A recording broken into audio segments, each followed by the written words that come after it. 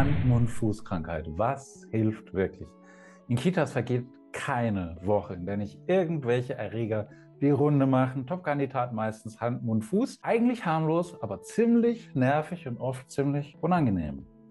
Trifft vor allem kleinere Kinder so zwischen 1 und 3 Jahren, aber auch ältere Kinder und Erwachsene können sich damit anstecken. Warum? Es ist hoch ansteckend. Wie sieht jetzt der Ausschlag aus? Typisch sind rote Flecken, Bläschen an den Händen, an den Füßen, vor allem an den Handflächen, an den Sohlen, außerdem am und im Mund, manchmal auch am Popo und an den Knien.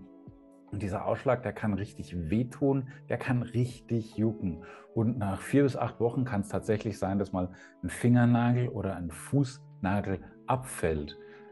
Der wächst dann zwar wieder nach, aber für den Moment ist es natürlich gerade für das Kind und die Eltern dramatisch. Wie ansteckend ist so eine Infektion? Es gibt 15 verschiedene Enteroviren, so roundabout, die verursachen die Krankheit.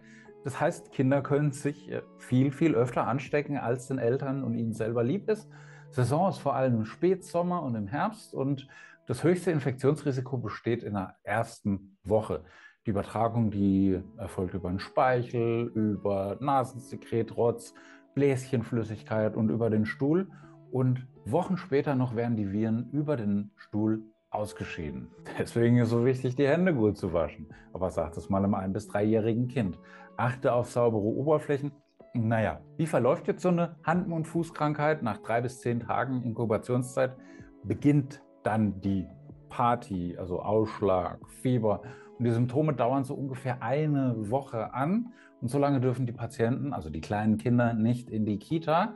In den meisten Fällen ist Hand und Fuß ziemlich harmlos, aber gerade bei Immungeschwächten oder bei Neugeborenen kann es äh, sehr, sehr heftig werden. Wie kann man die behandeln?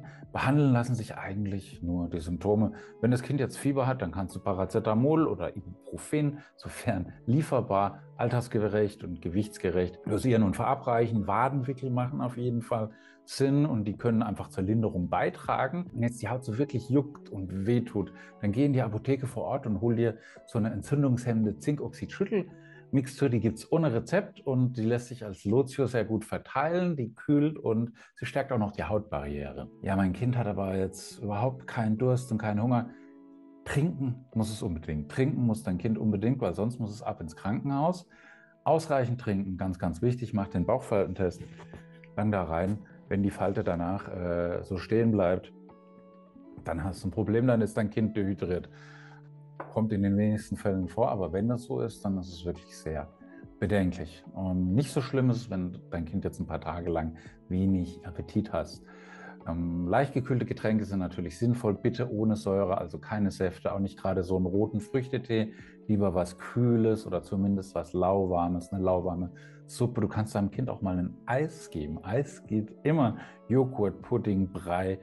Und wenn der Mund so richtig doll wehtut, gib deinem Kind mal einen Strohhalm, das kann damit ganz gut umgehen. Oft sagen dann die Mütter zu mir, ja, mein Kind, das kratzt sich und was können wir dagegen tun? Kurz geschnittene Fingernägel, das versteht sich von selbst. Dann nachts Baumwollhandschuhe oder so Fingerlinge zumindest mal probieren aufzusetzen. Die meisten Kinder ziehen das natürlich nachts aus, aber es ist trotzdem ein sehr sinnvoller Ansatz. Dann luftige Kleidung, Bettwäsche aus Baumwolle und dann nicht zu doll überheizte Räume, sondern vorher vielleicht mal durchgelüftet, das vermindert den Juckreiz und wenn die Bläschen jetzt nicht verkrustet sind, dann sollten die Kinder auch nicht länger als 10 Minuten baden. Ist die Krankheit jetzt für Ungeborene gefährlich? Eine Infektion während der Schwangerschaft hat keine Auswirkungen auf Ungeborene. Und wenn sich die werdende Mutter dann kurz vorm Geburtstermin allerdings ansteckt, dann kann es bei der Geburt aufs Neugeborene übertragen, kommt aber in den allerseltensten Fällen vor. Ja, und warum lässt sich die Infektion in Kitas kaum eindämmen?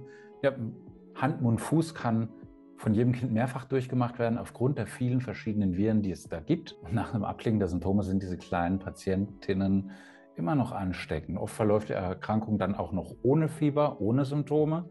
Und dann merkst du gar nicht, dass das Kind eben Hand- und Fußkrankheit hat, trotzdem aber ansteckend ist. Stimmt es, dass es die Krankheit früher nicht gegeben hat? Die Viren sind sehr verbreitet. Besonders in asiatischen Ländern kam es schon immer zu großen Ausbrüchen mit teilweise wirklich heftigen Verläufen. In Deutschland gibt es so seit 10, 20 Jahren eine sehr viel mildere Form von Hand- und Fußkrankheit auf. Das liegt vor allem daran, dass viel mehr Kinder zur Kita dürfen oder müssen. Wenn du mehr erfahren willst, geh in deine Apotheke vor Ort und abonniere meinen Kanal.